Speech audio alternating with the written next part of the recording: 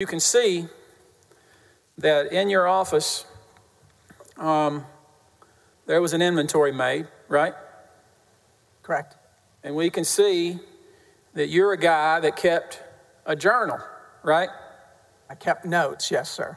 And we can see that these notes, if you flip back the page prior, Eric, you can see they go uh, from 2018, January, and they go all the way to June of 2020, right?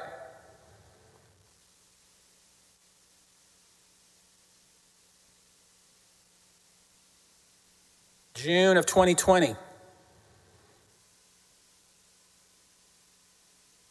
And that's where they stop. Isn't that right? That's what that reflects, yes. Where are they? Where are what, sir? The notes that are missing. Again, sir, I began using a program called OneNote.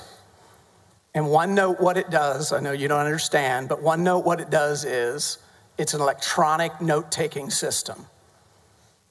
And you can do it by, and what I had it, the way I had it organized was I had civil lit, I had child support, I had admin, I had criminal justice, I had law enforcement.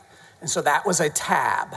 And so it let me more effectively organize my notes by deputy. When I turned in my machines, OneNote was there. It may still be there. I don't know. I, when I turned in, I lost access. Who is Jordan Berry? Jordan Berry is a political consultant who is a political consultant for Mr. Paxton, among others. Among who others? Good question. Um, probably some individuals in this room. Um, um, you know, I don't know all his clients. I, so I'd be guessing. You don't know who Jordan Berry represents?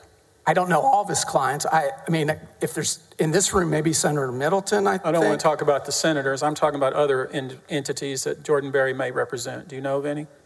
Other entities that Jordan Berry may represent. I know he represents members of the House. Entities. Entities.